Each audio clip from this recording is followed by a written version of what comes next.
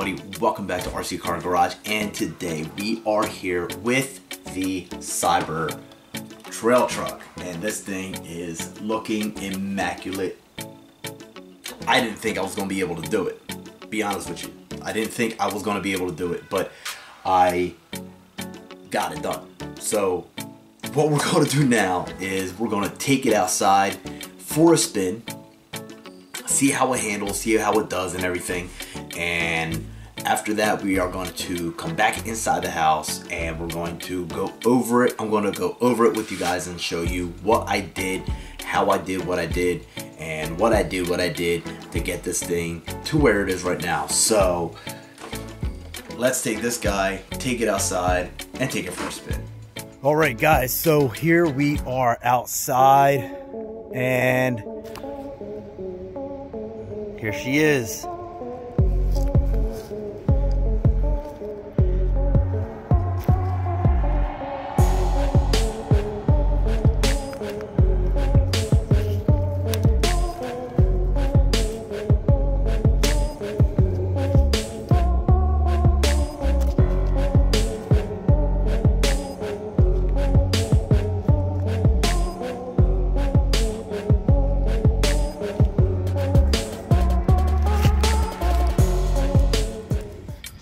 Right, so we're gonna take it for a little run and see how it's gonna do. I, hope it does pretty good, I'll be honest with you. Um, I am not completely finished with it, as I told you guys uh, earlier. It's not 100% done. The wheels that are on here are temporary wheels and tires that are on. It's just ones I had on my other um, Range Rover build that I had and I just figured, you know what, just for the time being, just for right now, to get this thing going, let me put them on and see how this thing runs. Uh, I was able to use the same chassis and everything for it and get everything to go on there. So let's uh, turn it on and see what it's gonna do. All right, so temporarily I ended up putting the on-off switch. I hope you guys can see it right back there, right next to the motor. It's not an ideal area, but it's where I have it for right now. The controller I'm using is off of one of my old RCs that I have. Um, I figure for this, it's gonna work for right now. So, all right, this guy is on. Let's see what it can do. As you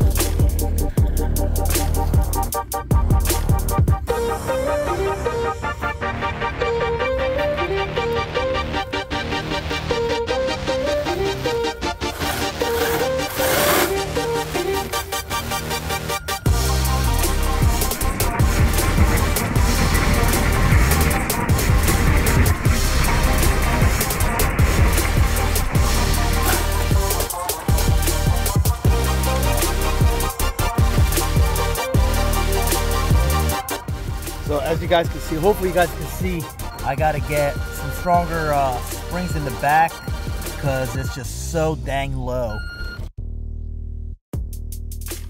It's really supposed to, it's really supposed to be sitting up that high, but again, I used all the suspension, the motor and everything from the WL Toys.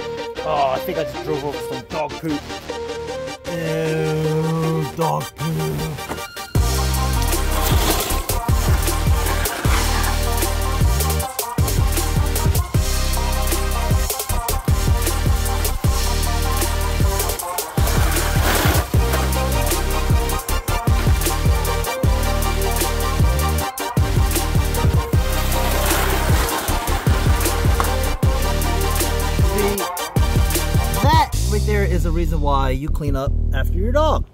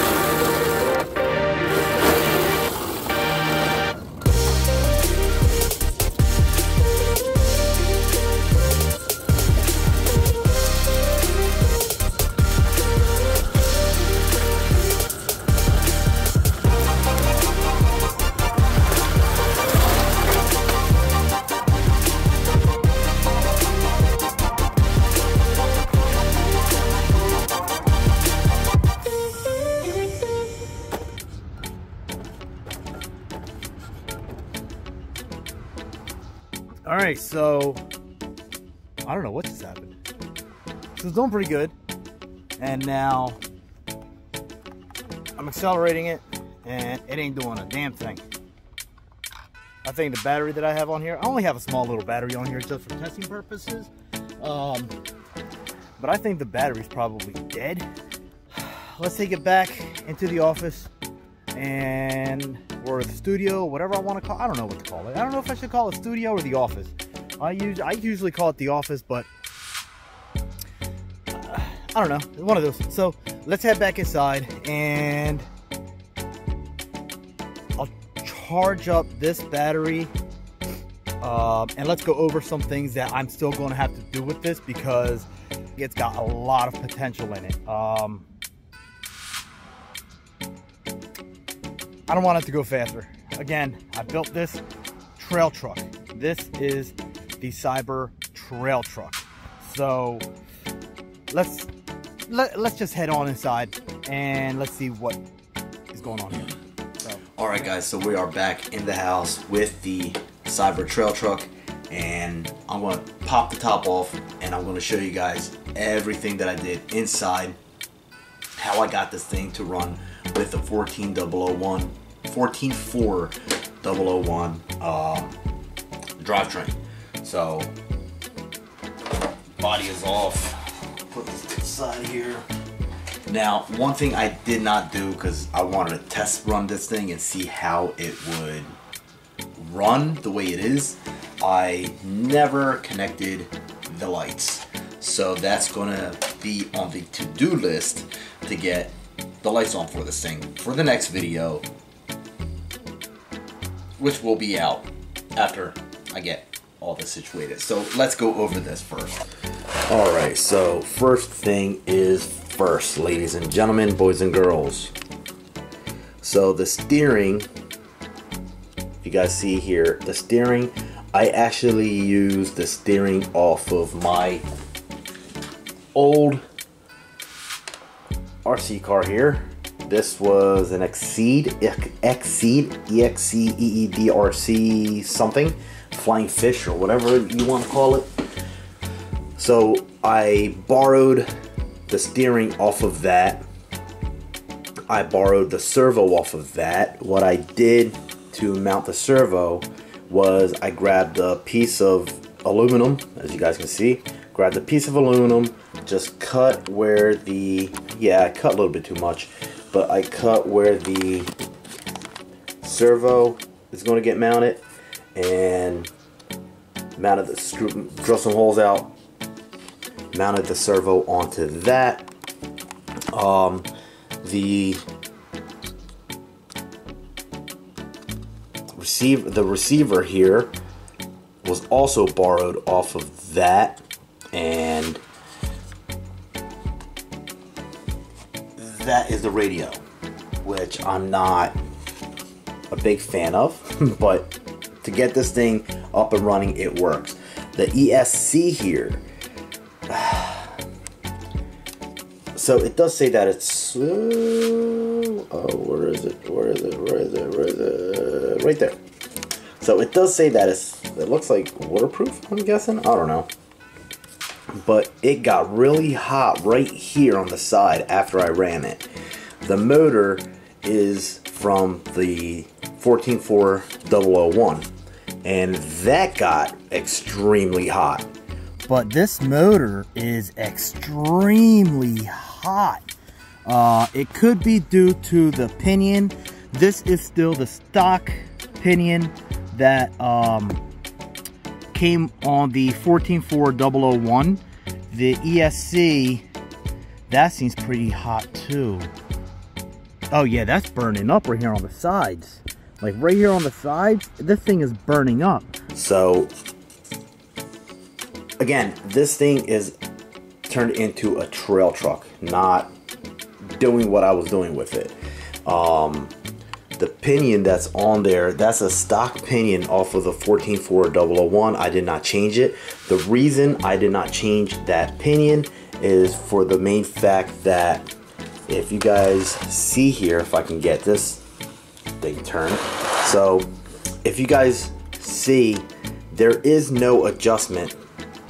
There's a screw for the motor to hold the motor. So there is no adjustment on that for the um, there was no adjustment on that for the motor. So I can't, there is no way for me to adjust that motor side to side. So I can't put a um, smaller pinion on here to give it some more torque. I can't do that. So what I did was I actually found one and I'm going to be replacing this motor mount that is adjustable so I can put a smaller pinion on here and hopefully the motor will not get as hot and there will be more torque for the setup here. Uh, the other thing that I did was, yeah, I used a uh, gift card, drilled a hole right there, secured that onto the chassis, and that is my temporary battery mount. so I did that. Um, I also got a um, five millimeter connector, as you guys can see right there. I'll move this around. There we go. So I got a five millimeter connector because I ordered another 14401 uh, drive shaft, center drive shaft here for the front. So I got that. It's five millimeters. I got this connector to connect both of them together. That actually works great. Um, I'm actually amazed that the grub screws didn't try to pull out or anything off of it. So as you can see, the tires are moving with it, and I'm actually amazed how well that came out. So the one thing I was worried, well, I already knew it was kind of going to be a bummer, but the one thing that I was worried about with the rear was the shocks, because I already knew that these shocks were not going to be able to handle the weight of the body and everything on here. So these shocks, I'm going to have to upgrade these shocks. Um, something probably the springs a little more stiffer or uh, heavier oil weight in these things. Uh, as you can, guys can see here, I actually adjusted the preload on here try to make this one stiffer because of the weight of the motor. So I try to make this one stiffer and this one a little bit lighter because every time the truck would actually sit on the desk, uh, this side would be down. So it would literally be sitting something like that. So I adjusted the preload on it. So that way it actually sits normal on here. Um, now let's check out underneath here. So let's check out underneath here. So underneath what I did was, those are the two screws that are holding on the front end of the vehicle. Um, was able to drill out those two screws there to hold the motor. These two screws here, I might have to get a little longer screw here. Um, and a different type of screw because as you guys can see on that screw right there, with it rubbing everything and this hump of the uh, this hump from the old motor uh, I'm not gonna be able to I need a something I gotta figure something out uh, else out over here so that is how I did that there um, these two screws right here are holding on the geometry for the steering I ended up taking out this little hoot dicky here for the steering um, so that's what I ended up doing with that. The other thing that I wound up getting for this thing, because I didn't know whether the, I didn't know whether the chassis was going to hold up to it, but that little bit of uh, running around that I did with it, I kind of did a little test to see how the chassis was going to handle. Um, I didn't think it was going to last realistically, and I'm amazed that it actually did the way that it did. So, yeah, I'm kind of amazed with that. Uh, what I did end up getting, so I got here some ABS plastic. What I was originally going to do with this was trace out the chassis onto here and basically put make this the chassis for that guy. As you guys can see, it's pretty damn long. I don't need anything. I didn't need anything this wide, but it was all I was able to find at the time. So uh, I got that going for me. So if this chassis does end up breaking, or I hope, to God it doesn't, but if it does end up breaking or whatever, I always have the ability to hopefully make my own chassis and really see what this thing can do. But yeah, so now my intention with this thing is to get either A, some better shocks for it. I gotta see what the millimeters are for this thing. Get some better shocks for it and get that back end to sit up more than what it was. As you guys saw, it was dragging its ass. I, no, I don't want it to drag its ass. So this truck isn't supposed to be dragging its ass like that. The way I showed you, the, it's literally supposed to sit, the wheels are supposed to sit up like this. As you guys can see, look how much I can bend this chassis. this is how much I can bend this thing. Hey, it did what it had to do. So I was actually happy about that. The other thing I might end up doing, um, the other thing I might end up doing with this thing is with the mounts right here, because I'm basically using the screws to hold the body onto the chassis. I might end up getting magnets to be able to just quick on and off so I can do the battery or do whatever maintenance I have to do with it. Um, but as for that, I think that's where this is at for right now. Um, so I will continue doing stuff with this. And I'm going to get new wheels, new tires, new suspension, um, new system here, new ESC. Um,